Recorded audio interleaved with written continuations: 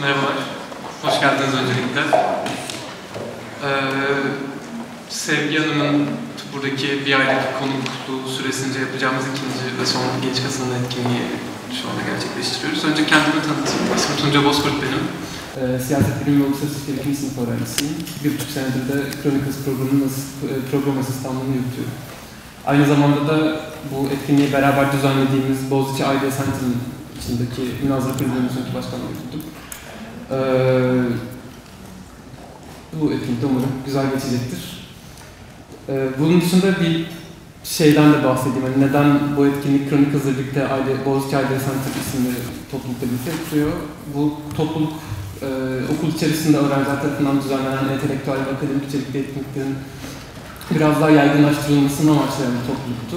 E, çeşitli öğrenci topluluklarının beraber kurduğu bir topluluktu. Bu etkinliği de Kronik Hız ekibiyle beraber yaptığımız için mutluyuz.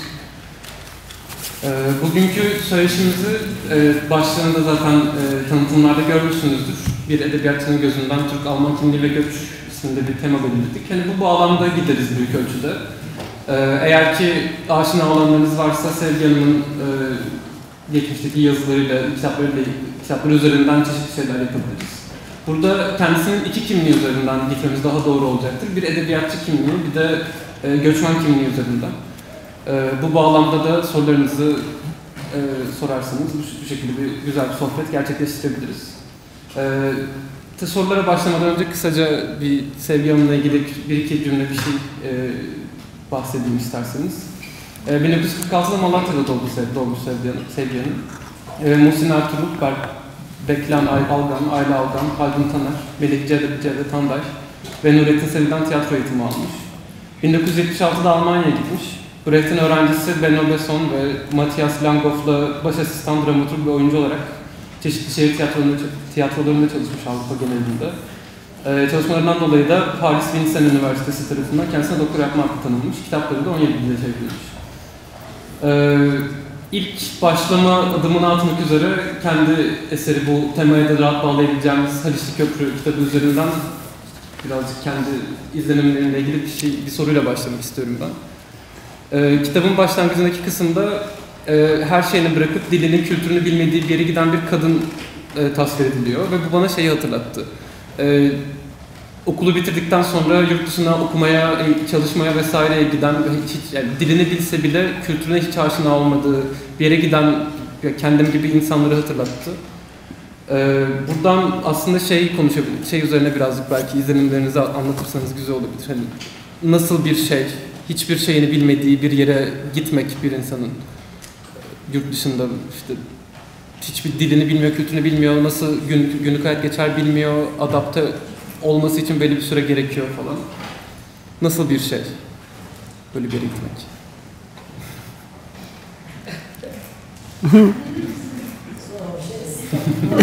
Zor bir şey. Ee, şimdi bir kere kendini trene atıyorsun. Tren yola çıkıyor. Yani gerize gele dönemezsin. Ee, bir de ben artık tabii romanlarını yaz, romanını yazdığım için yolun şimdi benim romanda yazdığım yani sahneye koyduğum resimlerle anılar birbirine karışır. Yani acaba öyle miydi diye düşünüyorum. Mesela kız trende kadınların çoraplarını lastikli ya o naylon çoraplarını dizlerinin altına sıyırmışlar. O iz bırakıyor orada. Ee, ve onlara bakıp mesela bu yolun daha uzun süreceğini düşünüyor çocuk. Çok genç bir kız çünkü. Ama mesela böyle bir şey ben hatırlamıyorum. Sadece çeşitli kadınlar vardı. Yani her sınıftan kadınlar vardı. İleri yıllarda, çok ileri yıllarda hatta şey düşünmüştüm. Ya ben Almanya gittim Türkleri tanımak için diye 3000 kilometre yol yaptım. Çünkü kendi sınıfının sınırları içinde kalsan İstanbul'da ne bileyim mesela mühendis kızlarını tanıyacaksın müteahhit ya da falan filan biraz bir orta sınıf. Orada öyle değildi yani orada mesela hayatlarını hayat kadını olarak kazanan kadınlar da işçi olmaya karar vermişler, yola çıkmışlardı örneğin. Onların kendi aralarında bir kavgaları vardı, onu hatırlıyorum. Bir de trende e, aspirin aldığı için hastalanan bir kız hastaneye kaldırmak zorunda kaldılar. O da Yugoslavya'da çöl gibi bir yerde durdu tren. Saatlerce bu bekletildi yani. Şimdi o aspirin ne, o kız ne, o benim aklımda kalmış. Zaten Garcia Marquez, Marquez şey der, hayat yaşadığımız değil hatırladıklarımızdır. Yazmak için de neyi hatırladığı, nasıl hatırladığımızdır. Yani o aspirin mesela benim gözümde büyüdü. Yani neden orada stepte duruldu, bu kız nereye götürüldü falan. Ee, resimler zaten hiçbir şey ayırt edemiyorsun geldiğin zaman. Mesela Münih istasyonunda böyle birdenbire yabancılar, kadınlar dışarıya çıkıyor çikolata almaya falan. Kap, kapılar açılıyor, kapanıyor kapı, her şey bir kapı gibi geliyorsun, trenden iniyorsun, oradan bir kapı açılıyor, orası seni yürün diyorlar, oradan çıkıyorsun tuvalet kağıdı ya da ekmek ya da bilmem ne almaya. Böyle ya şey gibi, sanki koca bir bina gibi daha bir, bütün bir ülke. Sonra yavaş yavaş o dekoru keşfetmeye karar veriyorsun. Eğer arkadaşların varsa tek başına edemiyorsun zaten. Yani o birkaç ay ben o kadınlar yurdunda yaşadım. Hmm. Zaten üçe kadar falan caz müziği dinliyorduk. Suzan diye bir arkadaşım vardı. Sabahleyin elbiselerimizle yatıyorduk, kalkıyorduk. Saat beşte, beşte zaten kalkılıyor. Bütün kadınlar kalkıyor. Altıda falan şeye gidiliyor, fabrikaya. Çok kötü çalışıyordum ben tabii. Beni zaten attılar hep. Bir ay sonra ne bilelim yani biz 18 yaşında kızlar daha Türkiye'de o, o dönem 60'lı yıllarda yani daha anasının kuzusu yani şey 13 yaşında gibi bir şey yani sonuçta. Hani ben onun için romanda şey diyorum babası ya sen kızım yumurta bile pişirmeyi bilmiyorsun nasıl gidip telefon fabrikasında lambalar yapacaksın falan diye. Hmm.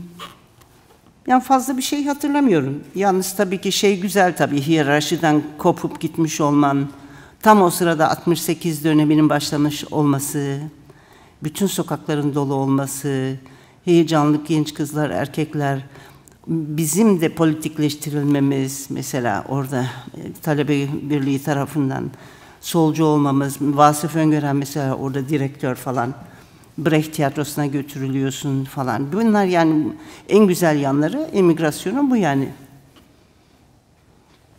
Ee, soru var mıdır? İzleyicilerimiz arasında. Okay. Ee, bir sonraki şeyde bununla ilgili aslında. Bir anlattığınız sahnede şu, şöyle bir alıntı yapabilirim hatta. Sokaklar ve insanlar bana filmmiş gibi gelirdi ama benim filmde rolüm yoktu. Ben o insanları görüyordum, onlar beni görmüyordu. Ee, bunun dışında da bahsettiğiniz bir şey de oradaki işte bakanların vesairelerin şey söylemleri. Her Alman haftada bir saat daha çalışsa yabancı işçiye gerek kalmaz ee, vesaire söylemleri vardı. Ee, bu bağlamda da Almanya'ya giden Türkler, hani sizin aynı zamanda çevrenizdeki diğer insanlar nasıl bir ortamdan nasıl bir ortama gittiler? Nasıl, e, ilk mesela sizin deneyiminiz bu şekilde. Başka insanlar da böyle bir deneyim mi yaşadı oradayken?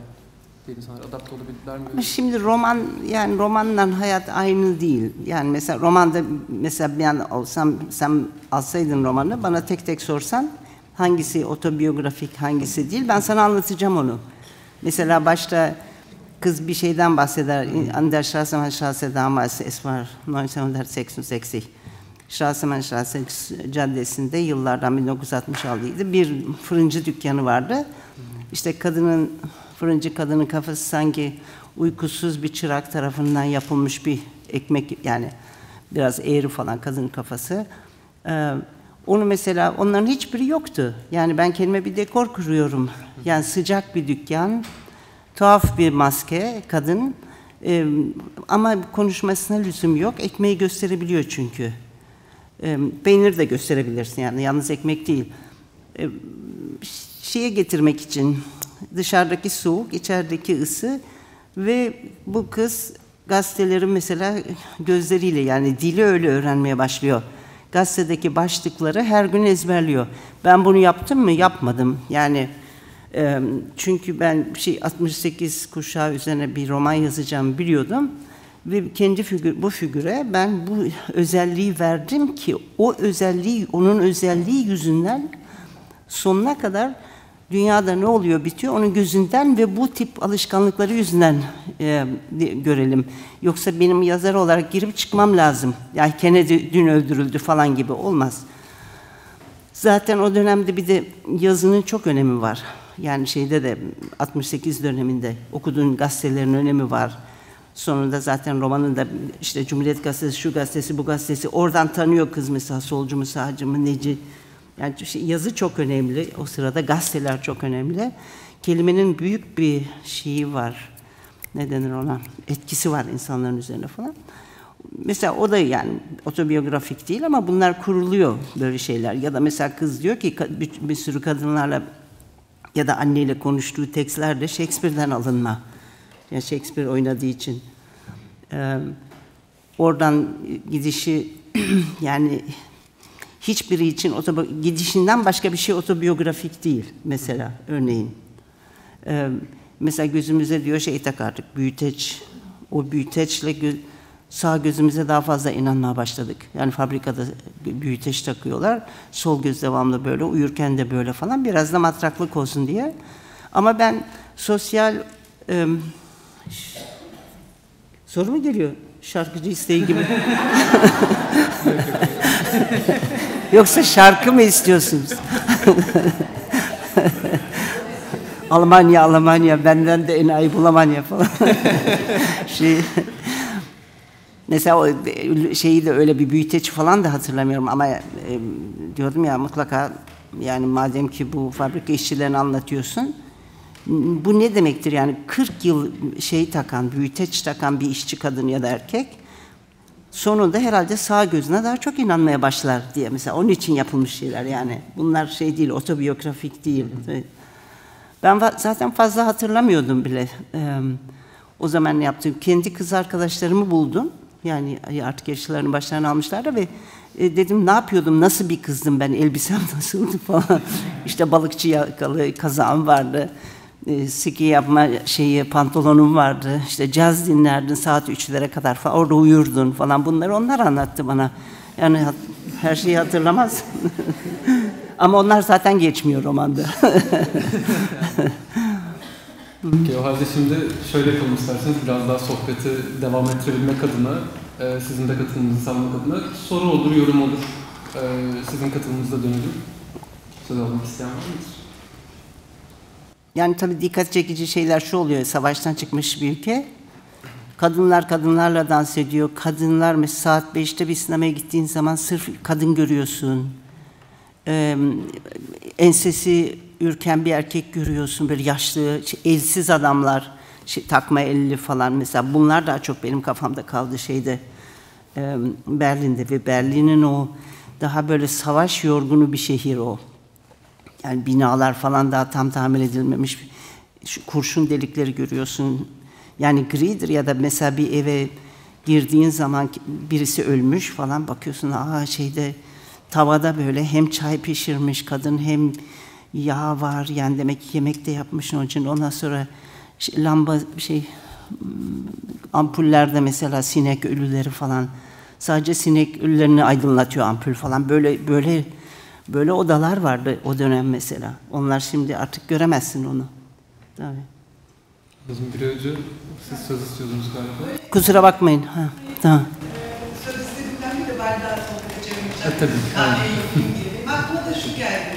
Ee, ben de kendi çıkışımı düşünüyorum konuşulurken hani uzun dönemli kalmak için ve e, 20 yaşlarında e, şunu anladım. O zamana kadar hiç fark etmediğim bir şeydi. E, ben e, beyaz olmadığımı anlamıştım. Mesela ilk e, e İngiltere'ye uzun süre yaşamaya gittim ve kendimin işte yani e, e, siyahlar var e, beyazlar var. Ben kendimi beyaz zannediyordum. Ve oraya gidince beyaz olmadığımı, bütün o şeyleri, e, renklerin farklarını, ne kadar Avrupalılar için şey olduğunu falan en net şekilde o zaman anlamıştım. Böyle bir doğu batı meselesi. Tabii ki burada biz bunun hep farkındaymışız gibi geliyor ama yani onu biraz okumak, bilmek başka, onu vücut olarak hissetmek e, başka bir şey. Bilmiyorum hani size hiç böyle bir şey oldu mu? E, o doğu batıyı hissettiğiniz an hani o benim o an doğuyu batıyı hissettiğim ve hani artık bunu kitapta bir burada o işte anlatıyordum e, işte kurgular bilmem neler kadar önce ama oraya gittiğimde yaşadığım şey e, benim anlattığım kitapta gördüğüm şey, vücudumun hissettiği şeyle kitapta anlattığım da kitapta, kitaplardan öğrendiğim şey farklıydı. Bilmiyorum. Yani öyle bir hani aklıma bu geldi. Benzer bir şey yaşadınız mı ya da böyle bir şey? Hı. Düşünüyorum. Ee, biz hiç yalnız değildik. Çünkü o 68 olay orada. Yani mesela diyelim ki o kadınlar yurdundan dört arkadaş, dördü de onlar da solcu olmaya karar vermiş. Kafamızda konuştuğumuz şey nasıl şey, biz kız, kız olarak evlenmeyeceğiz erkeklerle. Biz revolüsyon yapacağız. Erkekler bundan, bunu çok düşünüyorduk mesela. Yani şey bazı talebelerle geziyorduk falan filan. Kendimiz bazı yerlere gidiyorduk. Erkeklerin dansa davet edilebileceği yerler. Edeceğimizden mi? Edemi etmiyorduk ama herkes bir masaya oturup birbiriyle falan telefonlaşıyor mesela. Ama öyle yerleri çok merak ediyorduk. Yani o ülkenin dekorlarını merak ediyorduk. Şeyden haberimiz yoktu. Belki Suzan da tiyatrocu olmak istiyordu. Ben de tiyatrocu olmak istiyorum. Güler de şeydi zaten mankendi. Bizim yani proleterleşme prosesimiz olmadı. Yani birisi ben böyle çılgınlığımdan evden gitmişim. Babam zaten bir yıl sonra bana dedi kızım olmaz yani dil öğren. O 3 bin mark mı 5 bin mark mı verdi o dönem parasıyla ben göç tenisine gittim. Yani orada kalmayacaktım onu biliyordum. Yani bu ülkeyi yer edinmeyecektim ya da burada para kazanmak zorunda değildim. Eğer onlar olsaydı belki başka türlü gözle bakmaya başlayacaktım. Bir de dil em, biraz işte İngilizce falan vardı. Yoksa eğer em, dilin yoksa yani dildeki problem insanları düşmanlaştırıyor öbür topluma karşı. Yani mesela Türkiye'de diyelim ki bir adam, bir Türk adam, kadın e, gitse şeye e, işini yaptırmaya, ondan sonra eve gelir ne der? Ya herif adam yapmadı işimi ya, benden galiba bahşiş istiyordu falan, vermedim diye de yapmadı. Şimdi bunu Almanya'da nasıl söylüyorlar? Gidiyor mesela adam işi olmuyor. Kendisinin de hatası olabilir hatta o işi olmamasına şey diyor. Canım Alman değil mi zaten? İşimizi yapmadı. Böyle. Yani bu hakikaten böyle. Yani orada birdenbire bir de zaten o üç bulutlu falan olmaya başlıyor galiba hasretten yani ülkeye olan hasretlerinden. Her şey güzelleştiriliyor burada örneğin. Halbuki o da yanlış, yalan da bir şey. Çünkü kendi hiyerarşilerinden çıkıyorlar, gidiyorlar. O rolleri kaybediyorlar o köylerindeki ya da küçük şehir nereden geliyorlarsa. Burada bambaşka bir rol veriliyor. Burada mesela köle değil ama yani sosyal olarak en aşağıdaki adam.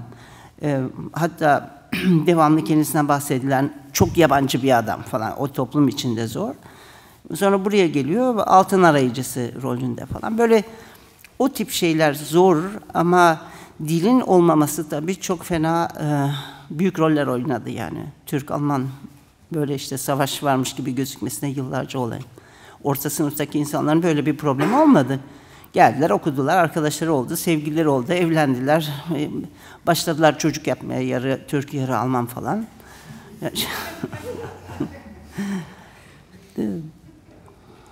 Yani bir, öyle bir şey ben ama ben çok gençtim yani saftım da zaten. Tiyatroda falan aklım e, fikrim.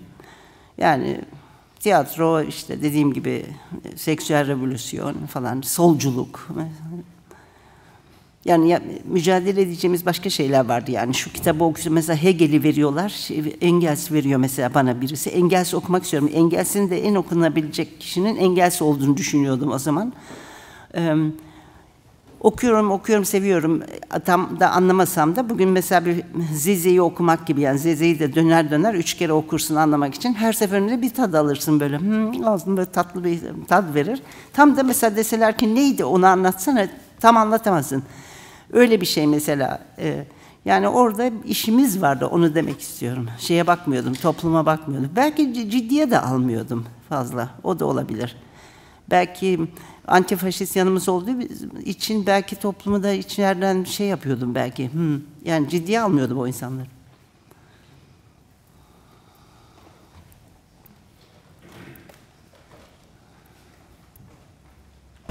Aslında şey soracağım. Biri tam hani biraz önceden beri anlattığınız o gitme tren hikayesi, o gitme anı ve karar anını merak ediyorum. Hani bir delilikti benimkisi gittim diyorsunuz. Ee, çünkü bir yandan da bir furya var, insanlar gidiyorlar.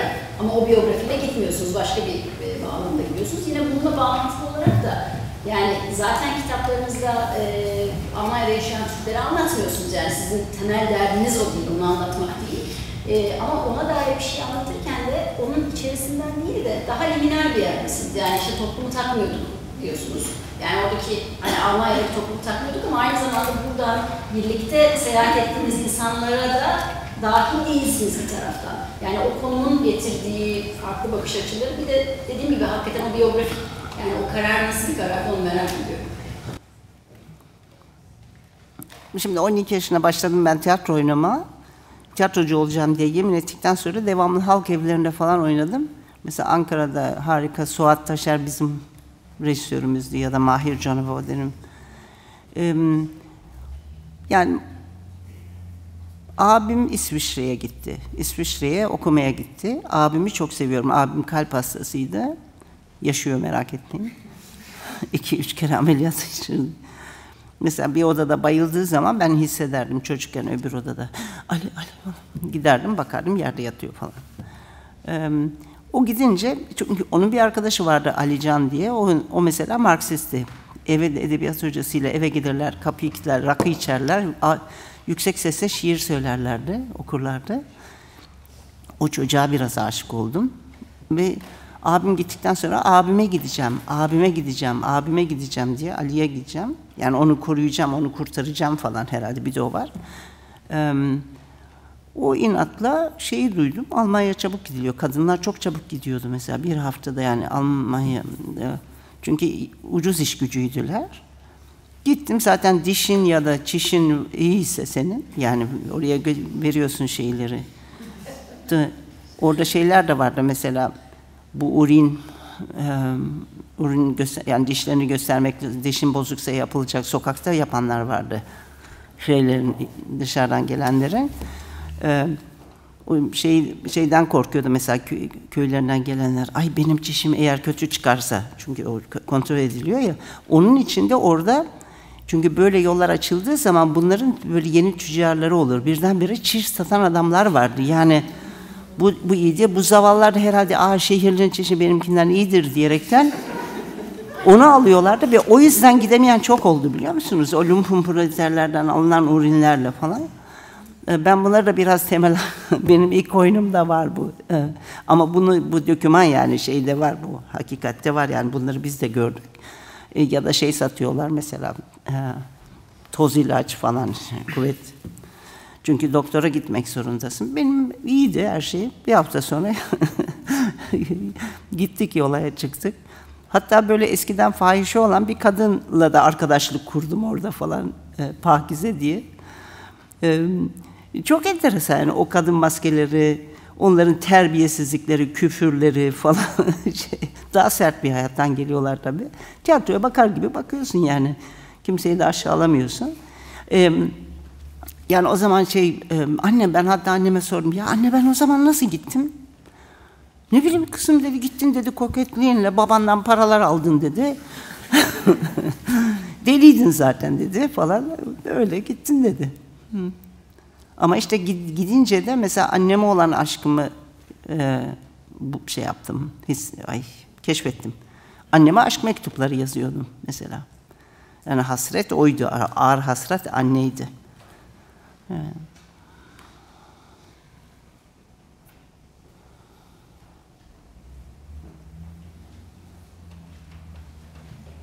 Döndüğümde de bir buçuk iki yıl sonra ağaçlarından başka hiçbir şey hatırlamadım Berlin'in. Evet, hiç.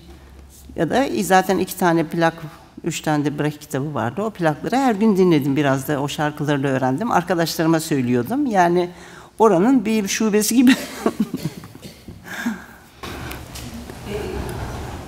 o dönemki kişilerle sonradan tekrar e, görüştüğünüzü söylüyorsunuz. E, e, onlar acaba nasıl bir dönüşüm? Yani biz genellikle erkekleri biliyoruz daha çok. Almanya'ya işçi olarak giden erkekler, onların eşleri kapalı olarak kaldıklarını biliyoruz. Ama orada gidip e, daha önce e, köyde çalışırken e, başka türlü bir şeyden gidip orada çalışan kişileri acaba oradaki hayat nasıl değiştirdi?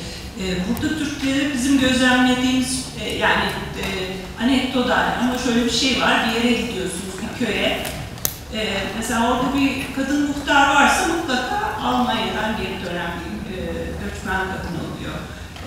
Ya da bir farklı bir şey yapan köylülerin normalde yapmayacağı birisi Almanya'dan geri dönenler oluyor. Acaba e, sizin görüştükleriniz için de e, e, alt sınıftan gelen ve sonra e, başarılı bir şekilde entegre olmuş muydu o kişiler, e, nasıl bir hayatları olmuştu?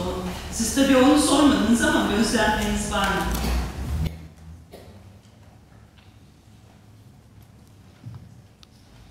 Yani ben 10 yıl sonra tekrar gittiğimde mesela eski komünist arkadaşlar komünist kalmaya devam etmişti. Çeko Çekoslovakya'ya gitmişlerdi falan. Hmm. Diğerleri belki Türkiye'de mal sahibi olmuşlardı. Daha başka türlü işlerde çalışıyorlardı. Politikaya yavaş yavaş atılmaya başlayanlar falan olmuştur.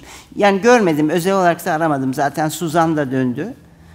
Güler mesela şey gelinlik dükkanı açmıştı falan. Fazla yani tanımıyordum. Şey unutmuştum zaten o insanları. Zaten yurtlar falan da dağılmıştı. Yurt kalmıyor. Yani çok tuhaf mesela şey sosyal demokratların Alman sosyal demokratlarının bir dergisi vardır Forwärts diye ileri so. Ee, onlar bana şey sormuşlardı. Bir bizim için bir şey yazar mısınız? O dönem değil. Yani ben kitaplar yazmaya başladıktan sonra ben de yazarım dedim. Oturdum bir şey yazdım. Ee, onlara faksladım. Sonra Arte bir portre çekmek istiyordu ve şeyde başlatmak istiyordu. Bu kadınlar yurdunda. O kadınlar yurdu da Forwärts'in yani bu derginin e, binası olmuş. E, Willy Brandt binası ve yan, yanında da Forwärts. Çıktık. Git, aa Bayan Özdemir hoş geldiniz falan işte bizim için yazı yazdınız biliyorsunuz. Evet biliyorum falan. E, odayı dedim göstermek istiyorum. Yaşa, kaldığım odayı o birkaç ay. O da onların redaksiyon odası. Benim yazdığım hikaye 20 yıl sonra o odada çıkmış. Yani benim 18 yaşında yattığım oda. Böyle bir şey de kaldı aklımda.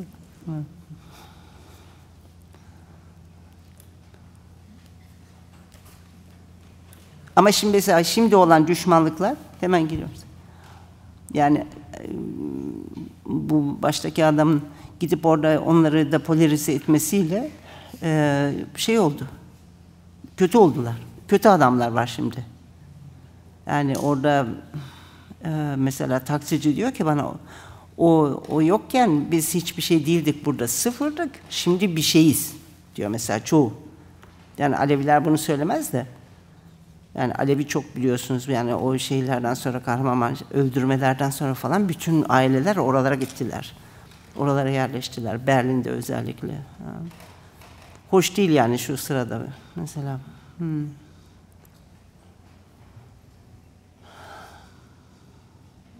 Biz siz bir şey soracaktınız pardon. Önce. Açık mı bilemedim açık galiba. Ben e, Olcay'ın e, sorduğundan, söylediğinden biraz devam etmek istiyorum. Şimdi biz size oraya göç eden daha çok işçilerle ilgili sorular soruyoruz ama sizin göçünüz o grubun içinde değil. Siz biraz yani annenizin dediği gibi deli kız olarak e, bayrakları açıp gitmişsiniz. Ee, onun için oradaki yaşantınızda e, başka bir yerde galiba yani şeyde değil o e, iş tamam girip e, fabrikada çalışmışsınız ama o bir süre değil mi? Hı hı. Yani e, sonra hemen tiyatrolarda mı çalışmaya başladınız? Bir dakika. Yani işçi tırnak içinde işçi olarak bulunmadınız hı. orada. Yani 6 ay falan bulundum. Sonra zaten Peki. ameliyat olmam gerekiyordu Guatır'dan. Onu onun ameliyatına gittim. Arkasından babam işte dil öğren dedi. Göceğin üstüne gittim. Orada yatılı kaldım. Sonra dönüp tabii sol harekete girdim tamamen ve şey e, bir talebe otelinde yatak matak yap, Birileriyle beraber yani talebeler çalışıyordu orada. Ondan sonra bir sömestr tiyatro okudum. Tiyatro okuluna gittim. Ve sonra döndüm Türkiye'ye. Yani buydu. Yani öğrenci işçi Evet. gibi Öyle. e, bir şey. Yani o ama buradan gitmiş Türk aileleriyle yaşamadınız. Hayır. Hayır. Zaten onlar da herhalde bir, bir buçuk yıl kaldı. Sonra dağıldı o insanlar da bir takım evlere çıktılar ya da evlendiler falan olabilir yani. Hı hı. Ama mesela bir şey daha söyleyeyim. Ben Haliçli Köprü'yü yazdıktan sonra Mari diye Ermeni bir arkadaşım vardı. Onunla çok iyi anlaşırdım böyle. Sigaralar, biralar içerdik, meyhaneye giderdik. Öğleden sonrası falan kafamız tabii dönerdi. O geldi beni görmeye. Ee, bir de Filiz diye bir arkadaş. Filiz de mesela ona soruyorlar şey bu romanda bir şeyci dükkanı vardı ya da telefon kulübesi neredeydi? O da onlara gösteriyor ama o yoktu öyle bir şey ama romanla ilgili oluyor. Ben de şeylerden öğrenirdim. Ee, gazetelerden dili öğrendim gazete başlıklarından falan diye. Etkiledi onları yani hikaye böyle bir oranın bir hikayesinin ya da bir romanın orada başlıyor olması falan. Evet. Pardon sizi bunu beklettim. Ben aslında Nüket'in söylediğine biraz devam olarak e, şimdi ben bundan birkaç sene önce e, e, işte bu sizin de dediğiniz şey kadın hikayelerinin peşine düşüp Berlin'e gittim. Yani bu sizin döneminizde Berlin'e çalışmaya giden kadınlarla mülakatlar yaptım. Şimdi orada bana çok çarpıcı gelen e, yani bu gözlemlere siz de katılır mısınız diye sormak istiyorum. Bir de Nüket'in söylediğine bir ek. Ya ben sanıyorum ki şey hikayesi anlatacaklar. İşte Türkiye'de iş yoktu. O dönemde Almanya işçi alıyordu. Biz de gittik. Ee, ve beni ilk yani başladığım mülakatlar acayip şaşırttı. Yani şimdi Nüket'in dediği gibi yani o kadar çok deli kız olarak giden var ki o dönemde. ya benim mesela ilk mülakatım yani gerçekten çok çarpıcı geldi bana anlatılan hikayeler. İlk mülakatım benim şey diye başladı. Yani 17 yaşında yaşını büyülterek e, gitmiş. E, ben de işte neden, hani nasıl karar verdiniz o ilk karar anı? Ben dedi yürüyen merdivenleri görmek istiyordum dedi. O yüzden Mesela gittim. tabii. İnanırım. Şimdi ben yine hani oradan bir şey hikaye hani burada iş yoktu bilmem ne falan bir türlü o iş meselesine gelmedik. Yani sonra dinlediğim kadınların hikayesinde de tamamen bu iş ve işçilik meselesi o dönemde yapmak istedikleri ve Türkiye'den çıkmak için bir araç özellikle kadınlar için. Şimdi erkekler böyle anlatmıyor bu hikayeyi. Yani evet. ya böyle anlatmıyorlar ya gerçekten de iş için gidiyorlar. Yani kadınların burada işte kocasından kurtulmak için ilk hafta birinci haftanın sonunda e, gece yarısı konsolosun evine dayanmış. Beni boşayacaksın kocamdan diye Berlin'e gidip. Yani e, işte 10 yıl kocası burada evde kapatmış kadını yani evin bile dışına çıkamıyor evden çıkmayı başarıp kendini Berlin'de bulmuş kadın.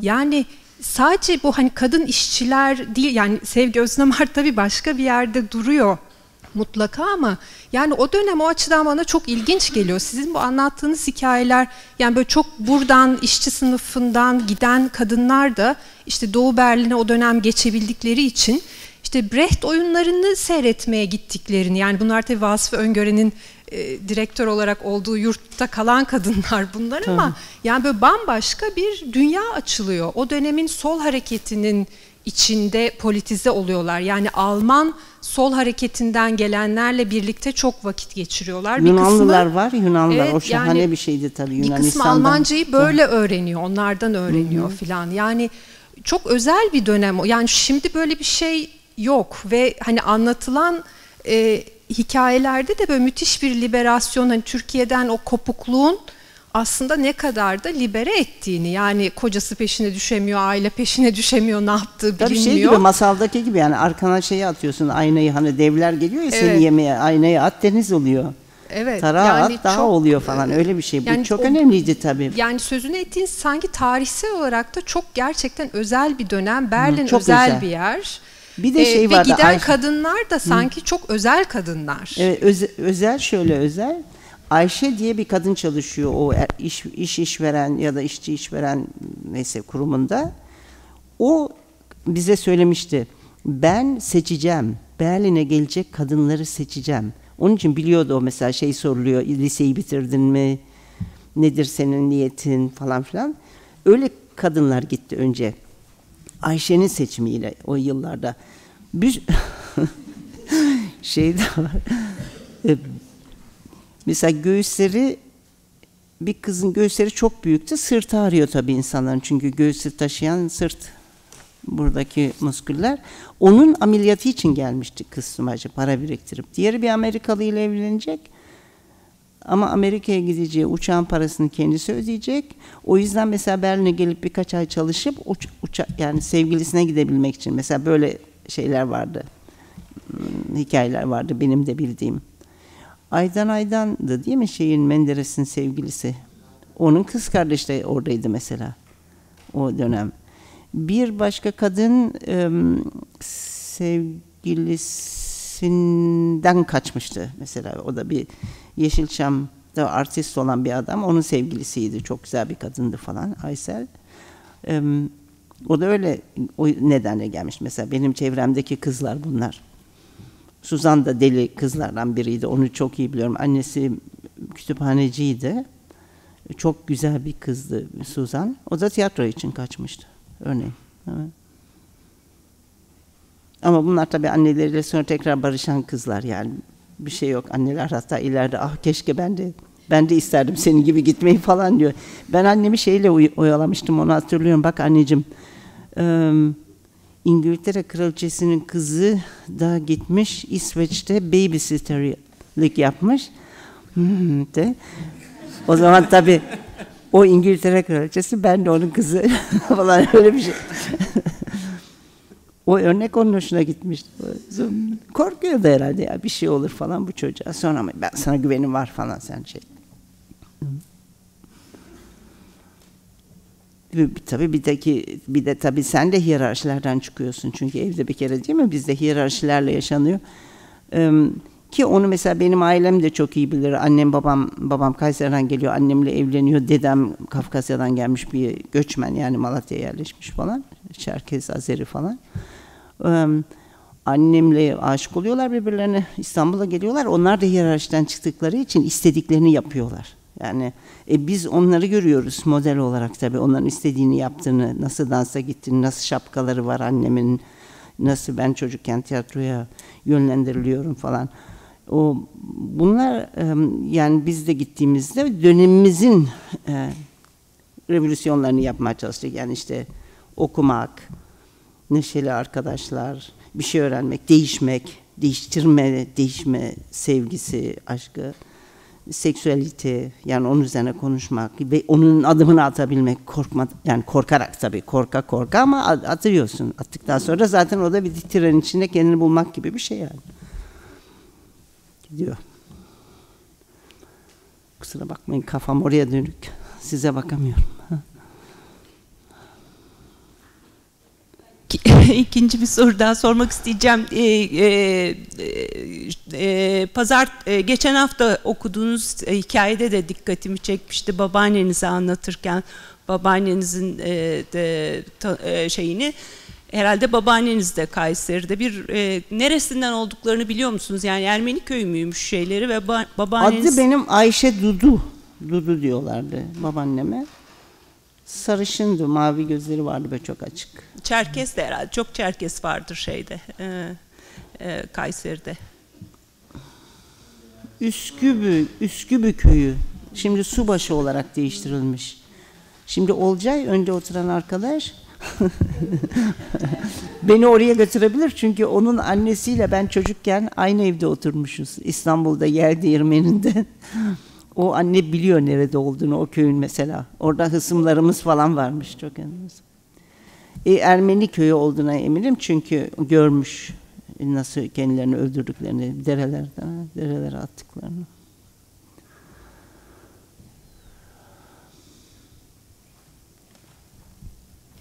Biraz konuyu değiştirecek gibi olacağım ama nasıl Hı. serbestsiz değil mi her şeyi sormakta?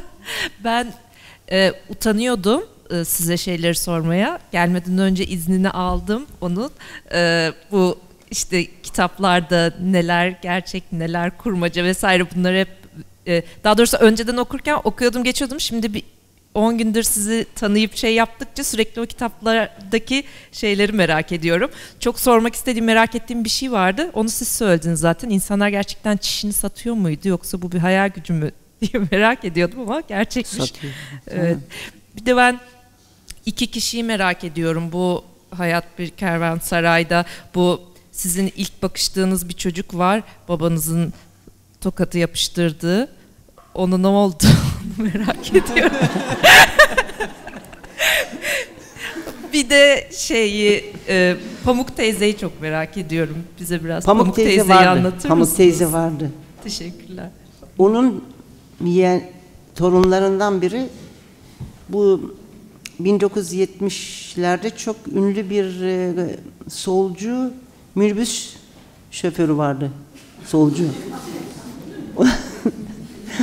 Hep böyle bezleri asardı falan işte.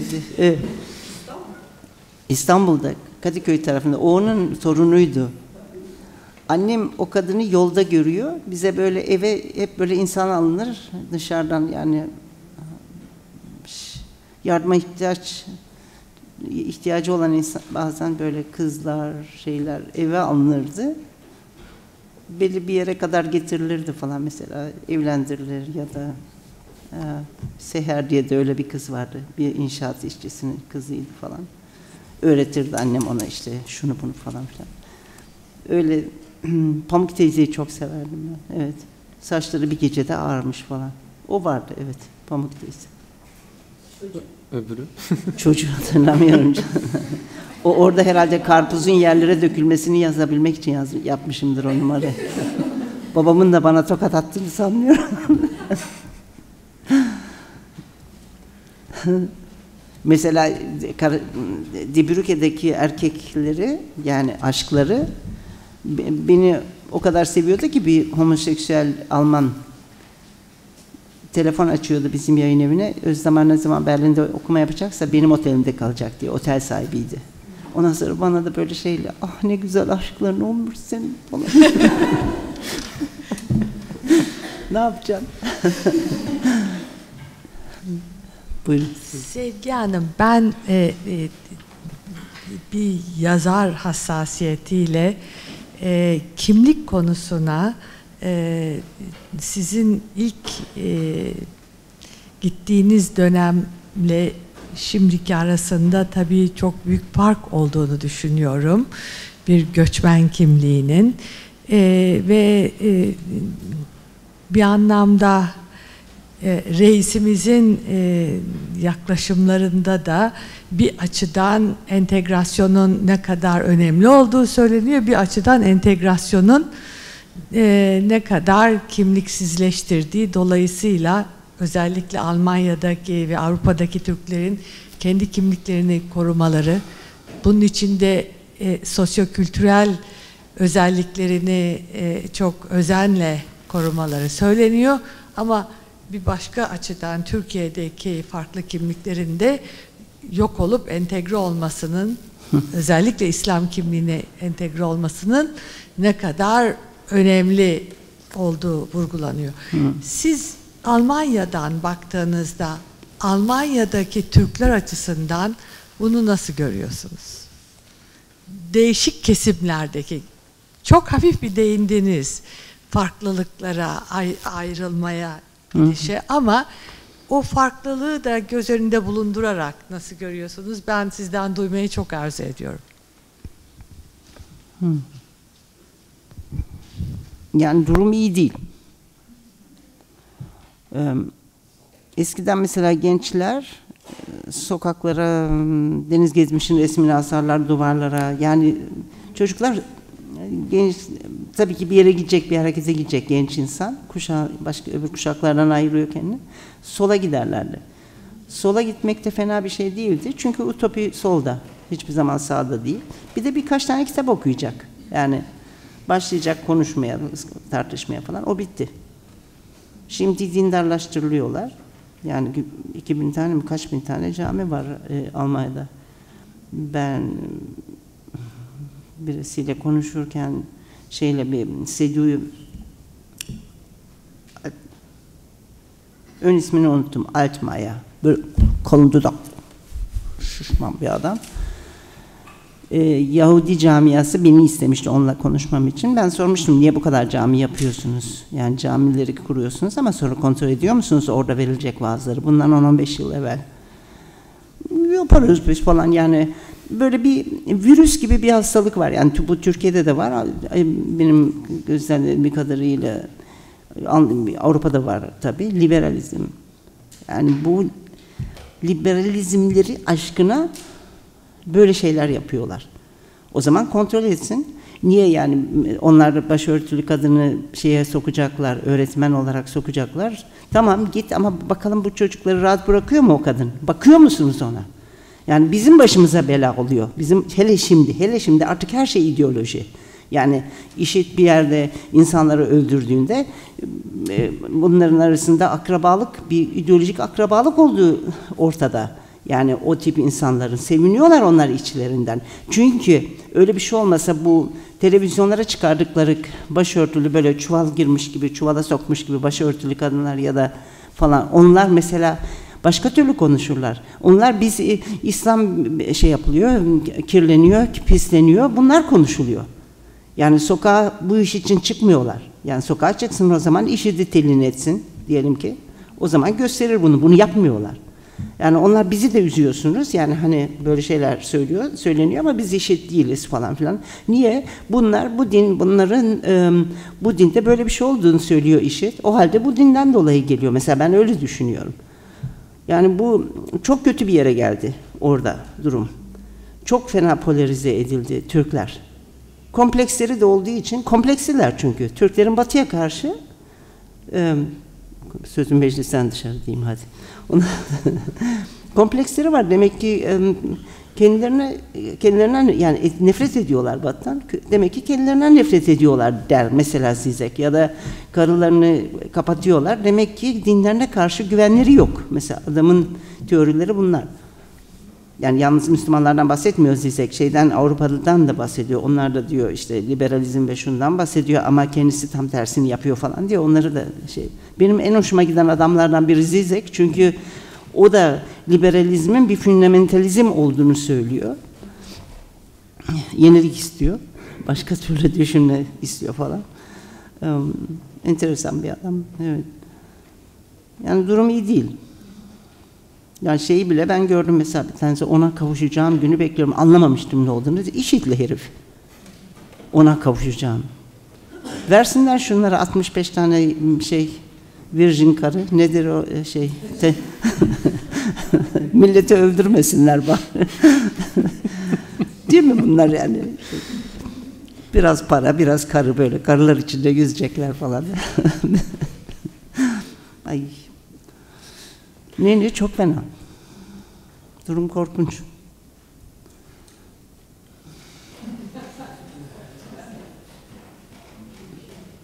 Çünkü orada da böyle Müslüman kardeşler gibi yani adam geldiği zaman da böyle mesela insan biri orada yürüse falan yani hiçbir şey.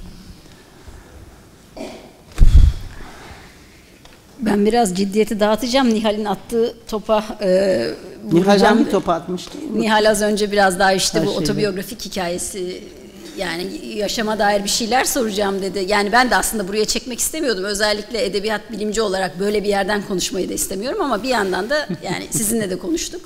Ee, Ben Sevgi Özdamar'ın romanlarını okumadan önce ailemden Özdamar ailesinin hikayesini dinlemiştim zaten ve de e, hep şey diye dinledim. Ya onların hayatı roman gibiydi. Yani öyle bir sıfatla dinledim. Bir taraftan da yani bu yani hayat temsil ve kurmaca üzerine düşünmek için bir vesile aslında bir yandan. Çünkü biz birinci sınıfta öğrencilere ilk öğrettiğimiz şey hayatımı anlatsam roman olur diyen insanların yok kardeşim olmaz roman yazmak için başka bir şey gerekiyor. Yani o başka bir şey olduğu için roman oluyor zaten. Az önce verdiğiniz örnek de çok önemli bir örnekti o gazete küpür örnekleri e, bununla bağlantılı. Yani biraz onun üzerine düşünüyorum çünkü e, yani ben de gerçekle kurmaca örtüşse ne olur diye bir yazı yazdım. Bundan yola çıkarak yazdım onu ve e, yani niye benim anneannem e, sizin annenizi babanızı anlatırken kullandığı sıfatlarla e, sizin tabii ki aynı şey değil ama bu kadar benzeşiyor. Yani o ben dinlediğim ve okuduğumu e, bir arada düşündüğümde benim hafiften tüylerim ürpermişti bu nasıl oluyor diye. Yani o temsil meselesiyle ilgili belki biraz konuşabiliriz diye düşündüm. Temsil dediğin ne? Yani bu işte otobiyografik bir roman yazıyorsunuz. Onun içerisinde bir takım unsurlar var hayata ve gerçeğe dair. Onu nasıl metne dönüştürüyorsunuz? Kurgunun parçası haline geliyor. Tabii ki birebir gerçeklik diye okumuyoruz biz onu ama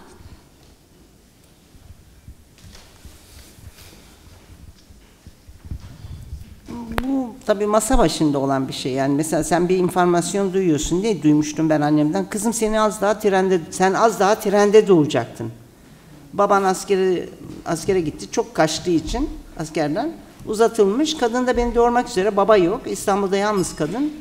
Bir tek Pamuk teyze işte. Ve şey trene biniyor. Anadolu'ya gidiyor. Yüzden beni orada doğuruyor işte. Üç ay sonra falan babam geldi aldı bizi götürdü. Ee, bu informasyonu ben duymuştum trende. Trenleri ben çok severim. Yani içim acırdı böyle oradaki. Hem severdim böyle bir e, insanlar, hayvan var içinde falan. İnsan kendini iyi hissediyor orada. Bir sürü hikaye giriyorlar, çıkıyor insanlar. Hep bir şey diyorsun. O zaman tabii hendi falan yok. İnsanlar birbirine anlatıyor yani oturdukları yerde. Bu şeyi e, ama mesela masa başında yani benim bir masaya oturduğum zaman notum şu kadardı. Annemin karnında trende. Ee, annemin karnında da başlayacağını bilmiyordum. Yani bu işte o iki benlik var ya biri orası bir hatırlama mekanı beyaz kağıt. Önce askerleri gördüm. Niye askerleri görmeyi ben yazmamışım, not etmemişim. Askerleri gördüm. Bu şeyden de gelebilir. Berlin gibi bir yerde oturuyorsun. Yıkık duvarları hala görüyorsun ya da Hitler filmleri geçiyor.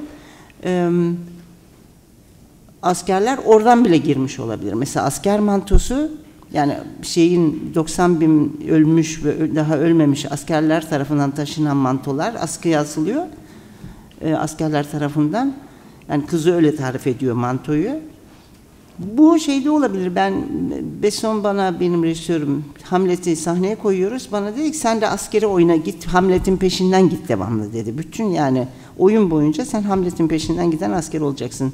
Tabii beni erkek yaptılar. İşte ağır bir manto verdi bana Ezio kostümcü. Böyle yokuş bir şey, çok zor yürümesi zor olan yokuş bir sahnede oynuyoruz. Çok ağır bir mantoydu ve kokuyordu çünkü parça parça şeyler yapıştırmıştı. Kumaşları yani değişik değişik kumaşlardan. Beni bir de tabii asker kaputları üzerdi. Yani o zavallılar böyle koca koca gözleriyle acaba oraya sütlaç yemeye girelim mi girmeyelim mi? Hani tatilde oldukları halde korkuyla davranırlardı falan. Bu e, ya da şeyi de görürdüm ben mesela Bursa'da Emir Arı bizim komşunun şeyini silerdi kötü davranılırdı o adama falan mesela. Yani bütün bunlar mesela birdenbire o asker şeyinin içine girmeye başlıyor. O mantonun, o insanların trende gördüğü. Bu benim benden gelen bir şey değil. Bu bence bu benlik yani ikinci bir benlik var ya roman figürü. Onun başka türlü bir hafızası var. O sana biraz sır anlatıyor. Sen ona bir şey anlatırken o da sana o yapıyor gibi sanki bunu. Önce askerleri gördüm mantoları şöyleydi şöyleydi. Neyse şimdi Almanca olsa söyleyeceğim. İşte Türkçesini söyleyemiyorum tekstin. Erst habe ich die Soldaten gesehen. Ich stand im Bauch meiner Mutter zwischen den Eisstangen, wollte mich festhalten und fasste an das Eis und rutschte und landete auf demselben Platz, klopfte an die Wand, keiner hört. Und so. Türkçesini söyleyemem bu tekstin. Almancası kalıyor aklımda. Öyle. Daha uzatabilirim yani. Onu, neyse.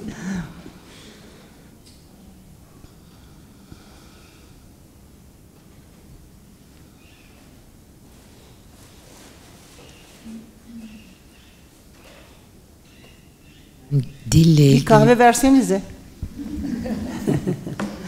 Buyurun. Ben dille ilgili bir şey soracaktım ama ondan önce şu son söylediğinizin devamında bir yerde yani Karavansaray'da o e, e, dedesinin sakalından halı dokunması var. Hı hı. Orada mesela o kadar çok imaj üst üste üst üste biniyor ki orada bu demin anlattığınızı hissettiğimi düşündüm. Yani şimdi anlattınız ya ne çok Etmen Hamlet'in oyunu işte bilmem ne bilmem ne hepsinden o sahne çıkıyor aslında üst üste biniyorlar. Onun bana şahikası o sakalaldan halı örülüyor ya oradaki o imajlar yani hakikaten dokunmuş halıda e, o kadar çok figür, şekil, renk olabilir ki e, ve aklınızda kalmaz. Yani bir daha çizeyim deseniz bakıp halıya çizemezsiniz hemen ya. Öyle bir e, şey var sizin metinlerinizin dokusunda. Ama şimdi siz anlatırken fark ettim onu aynı zamanda Türkiye tarihi. Tabii ki, tabii ki, tabii ki, tabii ki. Ama Yok, anladım. Teşekkür ederim. bizde yarattığı Türkiye tarihi olduğunu anlıyoruz. O yazarken de onları hepsini üst üste bindiren onun zihni. Yani çok e, şimdi söyledikleriniz Sakalı anlatayım biraz trende. A- anlatın, e, sonra Tren, trende dedesi geliyor İstanbul'a kızı alıyor bu şehre götürüyor. Anadolu'daki o şehre. Trende gene askerleri görüyor.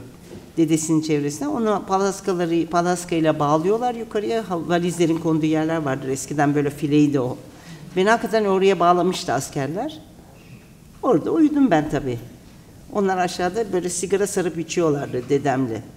O işte askerler anlat dede diyorlar romanda. O da anlatmaya başlıyor ve sakalı böyle halı dokumaya başlıyor anlattıkça sakalı uzayıp dedenin.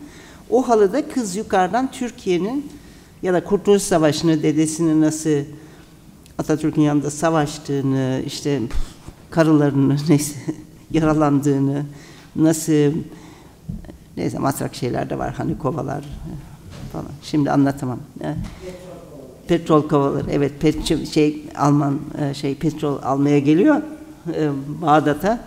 E, Bunu diyen Fransızlarla şey onlar da kovalarıyla geliyorlar. Sonra o kovaları ters çevirip helm şey yapıyorlar. Kafalarına ka- taktıkları kask falan oluyor. Bunlar hep çocuk görüyor şeyde dedesinin hikayesini. Ve orada geliyor geliyor bir yerlerde gene annesinin doğumunu görüyor halıda. Çünkü baba anlatıyor. Böyle güzel bir kadın çocuk var kucağında. Ne düşündüm biliyor musunuz? Sanki ben bu romanı yazdım anneannemi görebilmek için. Benim anneannem 35 yaşında ölmüş. Hep böyle efsane gibi anlatır ne güzel kadındı falan işte çok duyarlıydı. Mesela dedemin ilk karısı öyle diyor o dayanamazdı dört karılı olmasına falan diye böyle anlatırdı Müyesser Hanım.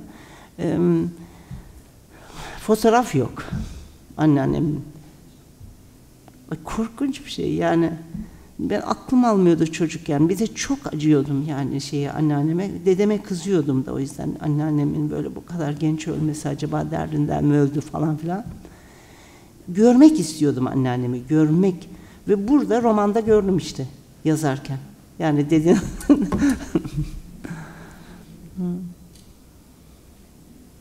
İnsan zaten sevdiği ve kaybettiği insanları da bulabilir yazarak. Yani Marilyn Monroe'yu da çok seviyorsanız onu da yazarak bulursunuz. Evet.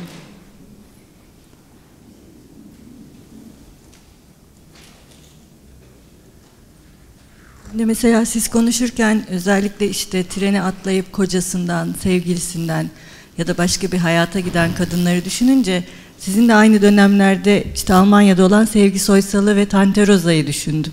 Ve acaba Tante Rosa bize o kadınları mı anlatıyor diye düşündüm mesela şimdi. Tam da oradaki... Çok severim Tante Rosa'yı. Ve Sevgiyi şey, de severim. Evet, acaba oradaki hani Türkiye'li kadınları mı anlatıyor gibi bir şey ne bileyim Ha. kafamda canlandı şimdi.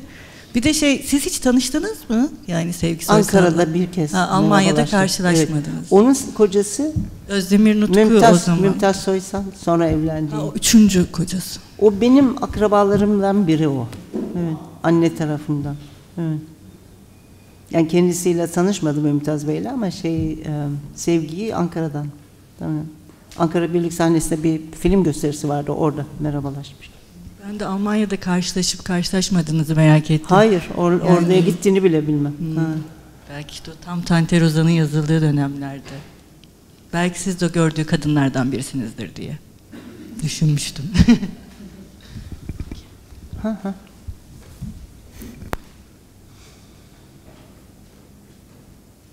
Bir araya girmek istiyorum ben o zaman.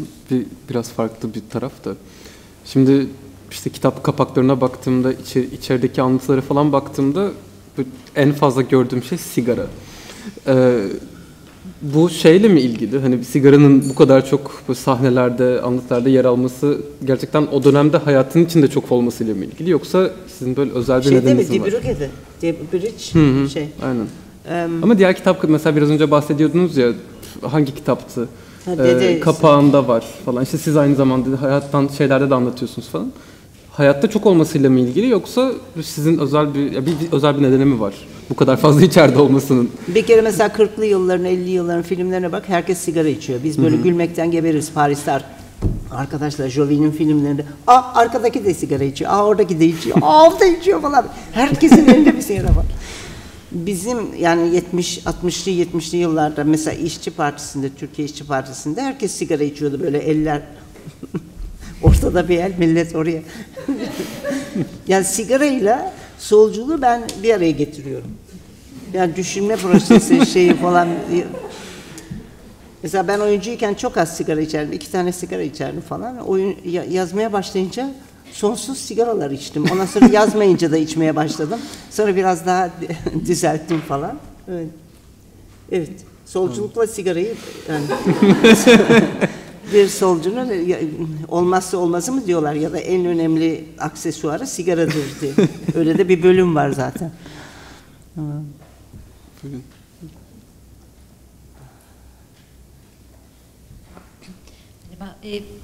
Ee, şöyle diyeyim. Geçen hafta konuşmanızda güzel bir şey söylediniz. Kitaplarınızı da okurken benim hep aklımdan geçen bir şeydi. Bu verdiğiniz örnek Almanya'ya ilk gittiğinizde Almanya mı Türkiye mi derken işte Fransa'ya gidince bir anda o ikilemden çıkıp 3 4 derken çok referanslı bir hayat oluşuyor orada. Kitaplarda da özellikle anne dilinde de öyle bir dil ve kimlik işte sadece Türkçe mi Almanca değil Arapça aradan giriyor. Onlar Arapça ile Türkçe ilişkilenirken Almanca ile Türkçe ilişkileniyor filan. Ee, ya bu bir şekilde sanki hem karakterlerin Türkiye'yi ya da Türkçeyi veya Almanya'yı, Almancayı romantize etmeden değil çeşitli yerler arasında ve arada kalmışlıktan çıkan da bir anlatım. Benim merak ettiğim bu özellikle e, sadece Almanya'daki değil yurt dışındaki Türklerden, Türk okurlardan bununla ilgili özellikle bir tepki aldınız mı? Yani illa böyle bir ikilem arada kaldıktan çıkıp hem zorluğunu anlatıyorsunuz ama çok nüanslı, esprili, işte o kemiksiz dil gibi ikiden fazla yere evrilebilir, dönebilir. Özellikle bununla ilgili işte farklı bir belki anlatı, yazı görmüş olmaları size değişik bir tepki vermelerine neden oldu mu? Belki diğer edebi e, örneklere oranla daha önce yazılmış belki göçmen edebiyatına e, karşılaştırmak gerekirse. Türklerden mi bahsediyorsunuz? Evet, e, sadece Almanya değil ama genel olarak e, yurt dışında Ha. belki farklı yerlerde bulunan Türkler olabilir. Doktora yazanlar falan var. Şey, e, metriz, doktora falan.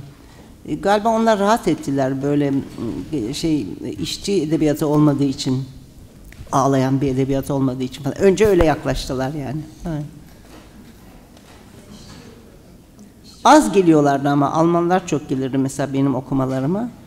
Zavallar yapıyorlar okumaları Türkler de gelsin diye. Mesela Türk düğün salonunun üzerinde bir gün okuma yap. Dedim sakın sanmayın yani düğüne gider adamların bana geleceğini. Onun için yolda gördüm birkaç kişiyi ben kendim çağırdım dedim. Bunlar solcu yapamaz bunlar organizasyon falan. Sanıyor ki oraya koyacak beni Türklerin geldiği bir katın üstüne. Her- Herkes gelecek bana falan. yani ne denir ona e, oyuncu falan olsan sinemacı tanıdıkları gelirler de. E, yok başta öyleydi. Şimdi geliyorlar çok Türkler. Türk gençler. Yani yeni kuşaklar falan. Hı. Beni zaten şey yapıyordu, duygulandırmıştı. Mesela ben Bahman ödülünü aldığım zaman Avusturya'da e, orada size- televizyondaki arkadaşlar yani benimle film çeken birdenbire kapı açıldı. Dediler kusura bakmayın buradaki Türkler sizi tanımak istiyor. Hepsi temizlikçi kadındı. Ellerini verdiler bana. Eller neydi biliyor musunuz? Böyle hani bulaşık teli vardır ya onun gibiydi. Hem kuvvetliydi hem de ya sertti falan yani hiç unutmadım o elleri. Ondan sonra ama o kadar e, şefkatli böyle bana hoş gelmişsin falan böyle dediler. Öyle yani. El verip gittiler. Tabii. Almanca bilmiyorlardı zaten nasıl yani okusan da ben Almanca okuyorum sürekli falan. Bazen işte Hollanda'da mesela kör kadınlar vardı falan. Onlarla sadece konuşma yapıyorduk ya da Fransa'ya gittiğim zaman mesela onlar Fransızca iyi bilmiyorsa ya da Almancayı bilmiyorsa falan. Sırf konuşuyorduk Türkçe. Her şeyi soruyorlar onlar. Evli misin? Kaç çocuğun?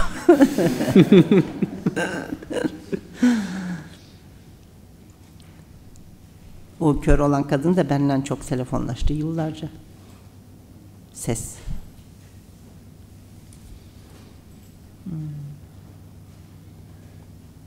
Buyurun efendim başka. Buyurun. Ben çok konuştum çünkü şey almayayım başkalarının hakkını. Ee, dille ilgili bir şeye takıldım ben. Siz sizin ana diliniz Türkçe aslında. Almancayı 18 yaşınızdan sonra öğreniyorsunuz ve Almanca yazıyorsunuz. O zor gelmedi mi? Yani çok iyi bilse de insan bir dili, ana diliniz, şimdi Almancayı ana dilim diyebilir misiniz? Yani tabii ana diliniz. Yok herhalde bitmeyen bir seyahattir yabancı dil yani. Peki, Bitmez. Yazmak peki zorlamadı mı? Hiç düşünmedim hangi dilde yazayım diye. Otomatikman Almanca. çıktı. Otomatikman Ha, Almanca. Peki. Belki vücut ritmim artık Almancaydı. Alman. Çünkü mesela pencereyi açıyorsun simitçi geçmiyor. Mandal yok. Mandalcı yok falan. Ey karpuz o da yok falan. Başka sesler var. Fırına giriyorsun halo falan. Yani böyle e, bunlar geçiyor insanın vücuduna. Bence vücut ritmim Almancaydı. Bir de ben şeye inanmıyordum. Ya insan ancak anasının dilinde, anne dilinde pardon duyar, duyarlı olabilir ya da duygulanabilir ya da duyguları daha iyi anlatabilir. Ama o zaman dedim niye? Niye mesela Alman bir erkeğe aşık olduğun zaman büyük büyük aşk geçiriyorsun. Ne oluyor o zaman? Yani nedir bu böyle ille de anne dilinde insan daha iyi duyumsar falan diye. O ona pek inanmıyordum zaten. Ama zaten bunları hiç düşünmemiştim. Yani düşünsem de herhalde yazamazdım. Yani hangi dilde yazsam falan filan diye. Öyle Almanca Almanca başladım. Almanca gitti örneğin. Kaç sene sonra ilk e, yani Almanca öğrenmeye başladığınızdan kaç sene sonra Almanca Ha yazdın değil mi? yazdınız? Hmm. 66'da öğrendim. Hmm, 80 83'te falan yazdım oyunumu. Ha. Oyun yazdım önce. Önce bir iki oyun yazdım. Tiyatrodaydım çok. e, Sürekli tiyatrodaydım. Bir ara bir sene vakit kaldı. Çünkü oyunumu şehir tiyatrosunda Frankfurt'ta sahneye koymak için bekliyordum. O dönemde e, notlar almaya başladım. Bir gece işte eşim falan operada çalışıyor. Dekor, kostüm yapıyor. Smetana'nın e, satılık gelin ya da nişan. Onu yapıyorlar. Dramaturg gelmiş, rejisör gelmiş. Ben çok seviyordum bu üç adamı da. Güzel yemek yaptım onlara. Bir tanesi kiloluydu, şişmandı, doymadı. Peynir de getirdim falan. Sonra bunlar müziği dinlemeye başladılar, konuşmaya başladılar yapacakları opera üzerine. Ben de onları çizdim sulu boyayla. Sonra onlar belki o gün de anlattım bilmiyorum. Sonra böyle sanki böyle gemi nasıl kalkar gider bir limandan öyle kalktım odama gittim bir kağıtları aldım. Kendimi şimdi görüyorum o halime. Getirdim gene aynı masaya oturdum. Onlar orada çalışırken masa da çok büyük değil yani. Şöyle bir masa. Başladım not almaya. Beş sayfa not aldım. Ertesi günde oturdum. Ne yaptığımı da bilmeden başladım yazmaya. Yani önce ne olduğunu da bilmiyordum. Beş sayfa, on sayfa falan. Sonra bir gün arkadaşlarımın yanına gittim. Kocam da zaten hiç evde olmazdı. Bu da çok iyiydi yani. O da ya Paris'te ya orada çalışırdı Viyana'da falan. Hakikaten iyiydi. Yani iyi bir şeydi. Ee, evini severdim onun böyle şeylerini. Oradan iki, iki kız arkadaşım var. İki- bunlar ikiz. Hamburg'da oturuyorlar. İkisi de psikolog. Güzel kadınlar böyle sarışın. Onların yanına gittim. Orada oturdu. Şey gösterdi bana Ursula. Bak dedi bu e, daktilomu böyle kullanabilirsin diye daktilosunu gösterdi. Onlar çalışmaya gidiyorlardı. Delihanede çalışıyorlardı. Deli, delilerle uğraşıyorlardı. bir buçuk saat falan gidiyorlar. O yüzden böyle otobana yakın bir yerde evleri vardı. Yani sabah kalkıp arabalarını binip bir buçuk saat işte şeye gidecekler hastalar hastanelerine. Ben de o koca bir e, şey, e, yeni daktiloyu e, onu kullanmaya başladım. Oturdum, başladım yazmaya. İşte o de- dedemin sakalı hikayesini falan orada yazdım. Akşam geldiklerinde onlara verdim okusunlar diye. İkisi de ikiz ya. İki tane aynı suratlı kadın hikayeyi oku. Sonra mesela yemeğe oturduk beraberce. Başladılar e, kendileri de hikaye anlatmaya. Yani yapmadıkları bir şeyi mesela yapmaya başladılar. Hikaye anlatmaya. O zaman dedim ha galiba bunlar identifize oldu hikaye. Demek ki burada anlatan bir ses var. Onlar da etkilendi ve anlatıyorlar. Yani mesela bu da bana. Ve orada karar vermek bu bir roman olacak. Yani zaten 30-40 sayfa olmuştu. Yani yani iki Teşekkür ederim. ikiz arkadaş, ikiz yüzler.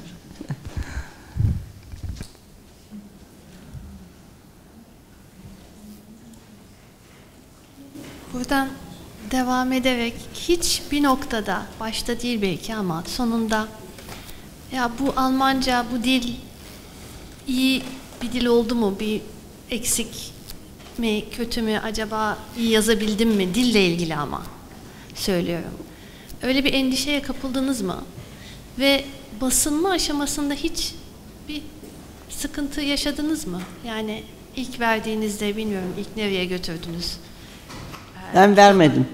Benim şansım oldu. Ya orada Bir arkadaşım vardı, böyle benim yaz, mektuplarımı çok severdi. Bu adam Surkampf'ta ünlü bir yayın. Orada m, lektördü, aynı zamanda dramaturg tiyatrolarda, Wolfgang Storch. Mektubumu alır, basar, mesela yaptığı bir kitapta. Bir gün Heiner Müller üzerine, yani bizim harika Heiner Müller, DDR yazarı. Ee, onun üzerine bir kitap hazırlamak istiyor. Bana dedi ki bir şey versene Heiner'e falan. Heiner'i de ben çok severim, o da beni sever. Yani birbirimizi iyi tanırız. Benim bir monoloğumun yani bir temizlikçi kadının kariyeri diye bir monolog yazmıştım. Ich, ich bin die Putzfrau, was soll ich denn sonst tun, wenn ich hier putze? Wenn ich hier nicht putze, ich, in meinem Land war ich Ophelia. Ben temizlikçi kadınım. Eğer burada temizlemezsem ne yapabilirim ki? Kendi ülkemde Ophelia'ydım diye başlıyor. O monologu çok sevmişti Hayner. Altına da dedi ki şey dedi, altına da altyazı olarak şeyi koy. Almanya hatıraları. Bir temizlikçi kadının kariyeri Almanya hatıraları. Öyle bir şey. Onu ben ona ithaf ettim. O kitaba girdi. Bir de çok komik bir resim verdim. Bir İngiliz kadının fotoğrafını çekmiştim Londra'da. Prolet kadın biriyle konuşuyor. Heiner Müller'e çok benziyor. O kadın bunu Heiner Müller olarak duvarıma asıyorum diye bir de yazı yazdım. Ay, sen ne kadar şeysin işte küstah tatlı bir şey. Heiner'in de hoşuna gitti. Bunu okuyor. Heiner Müller'in lektörü kadın. Rotbuch Verlag o zaman. Beni aradı. Ben dedim yani bittim o hikayenizi. Sizinle bir kitap yazmak istiyorum dedi. Yani ben daha Kervansaray'ı yapıyordum. Kervansaray uzayacak onu biliyorum. Beş yıl falan sürdü çünkü. Varsa işte şeyi de tanıyor. Bunu koyacağım bir kitap yapacağım dedi bu hikayeye. Arkasından işte oyunum vardı zaten Karagöz'ün Almanya. Bir hikaye daha yazarsanız sizinle hemen bir kitap yapmak istiyorum dedi. Yani üst, şansım oydu. Bana sordular. So. İşte zaten onu yaptı. Ondan sonra da Bahman ödülünü aldım. Kervansaray'ın o dede bölümüyle. Evet. Hayır düşünmedim şeyi yani zorlanmayı ya da bu da olmadı. Almanca diye düşünmüyorsun zaten. Bak mesela şimdi ben Türkçe metin yazdığım zaman aynı şeyi orada da soruyorum. Ya bunun ritmi oldu mu? Şu kelimemi koysam oraya bunu mu ha koymasam mı? Koyayım mı o kelimeyi koymasam mı? Bu bazen bir gece sürebilir. Yani o kelimenin de e, cambaz gibi şeyin ipin üzerinde düşmeden gitmesi gerekiyor. Düşebilir çünkü. Onu hissetmeniz lazım. Düşüyor mu, düşmüyor mu? Düşecek mi, düşüyor mu, düşmüyor mu? Mücadele bu. Yani ne ne Almanca kelime ne Türkçe olması önemli. Ritim, ritmi nasıl? Ritim doğru mu? Ritmi doğru mu? Ben Yani öyle hissettim ben. Kısa bir şey daha söyleyeyim mi? Hiç basılmayan bir yerlerde bekleyen saklı yazılarınız var mı? Ya Hamlet Ahmet diye ben bir oyun yazdım. Çünkü Hamlet'i ben benim dünyada en sevdiğim oyun. Bir de Türk aydınlarının tragedilerini ben Hamlet'in tragediyasına benzetirim. Yani çok şey bilirler. Hakikaten biliyorlar ama bunu bir türlü yerleştirmiyorlar yani çünkü başlarında bir kral var. Yani hani Hamlet'in iti oğlu itin teki dediği kral. Yani o herif.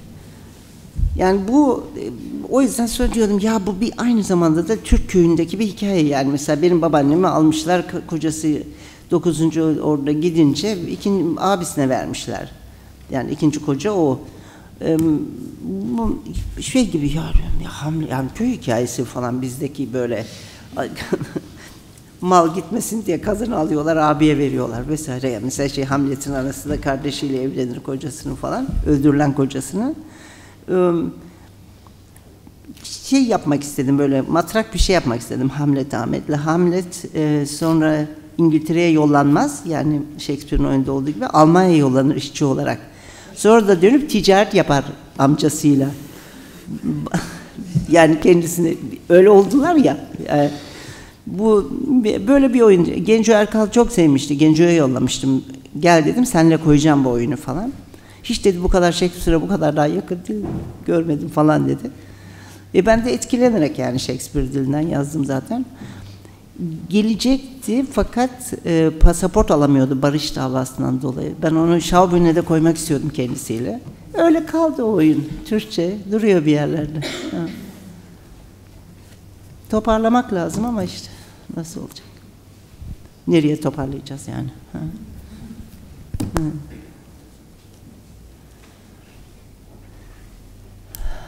Var mıdır söz almak isteyen? Bir şeyler söylemek isteyen? O zaman yavaştan toparlamaya geçelim. Ee, çok teşekkürler. Geldiğiniz için hepinize. Ee, o şekilde size de çok teşekkür ederim. Teşekkürler. Sorunuz şey varsa dersin. tamam. Ha. Son bir soruyu alalım. Hı, tabii ki. Merak ediyorum. Müzikle ilgili bir e, geçmişiniz var mı? Var. Yani nedir merak ettim. Mesela çocukken korkunç şarkılar dinlerdim sürekli, klasik. Ee, o dönemde şiir de yazıyordum. Ama tüberküloz vardı bende yani öleceğim diye düşün, ölüyor, ölmek. E, tüberküloz değil, zafiyet ya. O bir öncesi değil mi? Ha. Ama tabii bizde iğneler falan bulunduğu için kurtarıyorlar belki de. İşte Kafka'nın öldüğü dönem gibi değil tabii. Ee, zaten şiirle şeyi karşılaştırıyordum. Yani ölen yazarları onu duymuşum. Veremden ölüyorlar işte şeyler şairler falan. Güzel böyle karpuz kavun konulan saklanan bir oda vardı bizde. Geceleri oraya giderdim. Gizlice orada yazarım. Babam gelir beni oradan çıkarır. Üşüyorsun üşüyeceksin ölürsün. Yani şey korkuyorlardı tabii. Ee, sonra benim amcam geldi. Amcam da sosyal demokrasilerin şeyi yani Halk Partisi'nin Şinepçilik Bakanı falandı galiba. Entelektüel. Yani onlar da Malasya tarafından geliyor.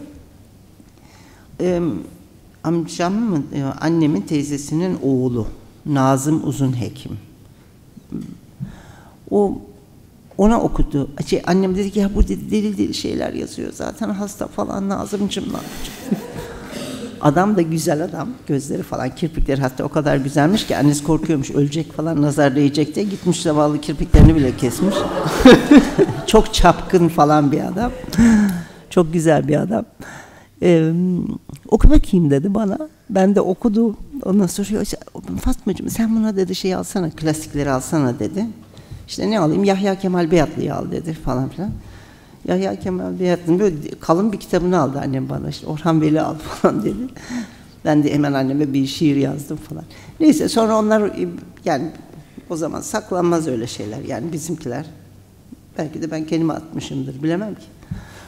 Şey, e, müzik. Ondan sonra çok fazla müzik dinliyordum ve şarkıları biliyordum, söylüyordum yani ah niçin ah sevdiğim niçin seni sevdim bulur suçum böyle ağır şeyleri seviyordum. Zaten onlar çok dinlenirdi. Yani hafifleri sevmiyordum örneğin. Yani 50'li yılların şarkılarını sevmiyordum. Um, Annem babam da şarkı söyler yani arkadaşları geldikleri geldiği zaman yani sürekli söyleniyor diye bir şey yok ama söyleniyordu, seviyorlardı. Babaannem bile iş yaparken gelsin bağları falan diye şarkı söylerdi önde. Bir sürü insan yapıyor herhalde bunu. Sol harekette de bütün entelektüel arkadaşlarım yani Murat Belge olsun, şey Cevat Çapan olsun onlar da şarkı söylemeyi severler. Yani bir masada toplandığımız zaman bana da söyletirler, kendileri de söylerlerdi.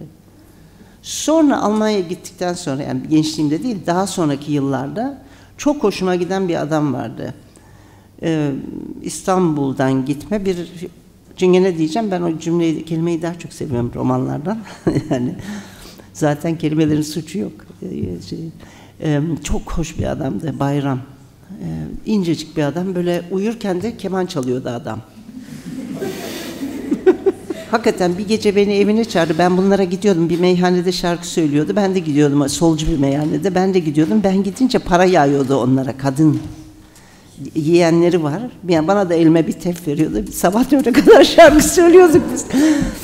Sonra eve götürdü beni. Dedi gel gidelim bize falan. Bir arkadaş da aldı bir müzikçiyi. Gittik karısı açtı. Tam böyle bilmiyorum resimlerini bilir misiniz? Alman Heinrich Zille'nin Alman proletaryasının şeyini böyle fakirliğini, şeyini, sefaletini gösteren matrak resimler yapmıştır Heinrich Zille.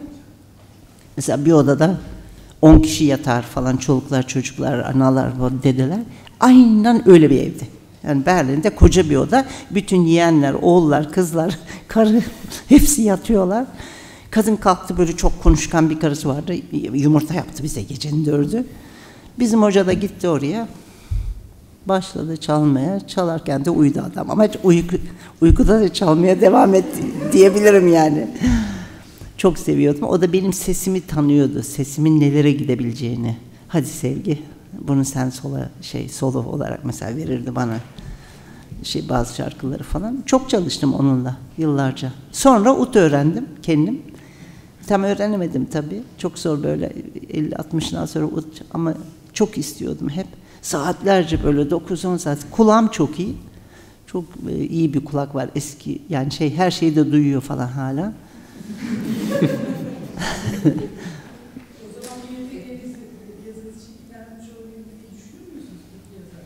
Mutlaka her şeyin etkisi vardır yani. Yani evet. Başka bir şeyler söylemek isteyen var mıdır? Yoksa o zaman bitirelim yavaştan. Çok teşekkürler geldiğiniz için. Hoşçakalın. Rica ederiz. Hepinize teşekkür ederim.